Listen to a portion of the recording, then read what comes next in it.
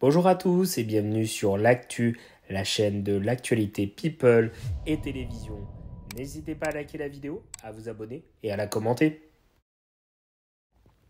Des prestations fortes, il y en a eu ce soir dans The Voice Kid avec l'arrivée d'un jeune homme qui a voulu reprendre Voilà de Barbara Pravi.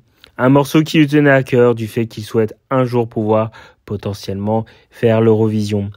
Mais pour commencer, il doit d'abord réussir The Voice Kid.